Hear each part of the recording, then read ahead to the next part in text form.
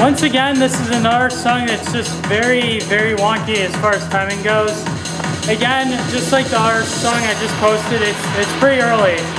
So just have to remember that the entire time you're playing the song to play everything just a tad bit early. Uh, it's kind of a pain in the ass, honestly. Um, but yeah, this song is just, oh, getting 13 perfects is like the best score, like best feeling you can get on a score ever. Like it felt really good ending this with 13 considering my other score is like 28 perfects. Like this is not gonna get improved, there's no way. If it does, I post our video, but I'm gonna play it one more time and I doubt I'm gonna get anywhere close to 13 perfects. So anyways, that's another perfect full combo for you guys. Don't forget to leave a like on this video, subscribe to me if you haven't already, and I'll see you guys next time.